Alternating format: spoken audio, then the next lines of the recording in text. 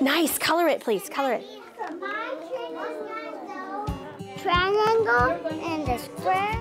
Four year olds love pre kindergarten. The fun, the games, the learning. In pre K, we learn rules, letters, counting, science, reading, writing.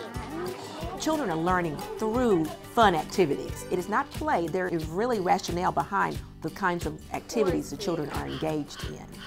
Apple, apple, ah, ah, ah, A. They're learning not only their numbers and their letters, they're actually learning how to read and write. I like the way you used a T to start train. Good job. In a pre kindergarten classroom, the students are actively involved in learning opportunities that will help them succeed throughout their high school years, their college years, and throughout life.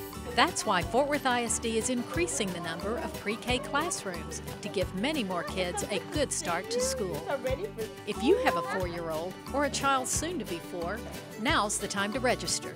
We will be serving all of our students who qualify first and foremost, but then we will have limited spaces for all of our other pre kindergarten students who would like to enroll. You can find out all you need to know and even enroll at one of the district's pre K roundups. All families are welcome.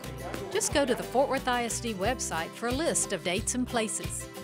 You'll also find a list of what you need to bring to register your child a birth certificate, shot record, social security card if it applies, proof of residency such as a utility bill or lease, and proof of income for students who don't qualify by language. Rule number five make smart choices.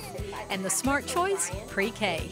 So I invite parents to please come in, visit our classrooms, look at what your children are learning. They are getting some excellent, excellent educational opportunities so that when they move to first grade, when they move to second grade, when they move to third grade, they have the basics necessary to succeed. In fact, research shows pre K may be one of the most important steps you as a parent can take for your child's education.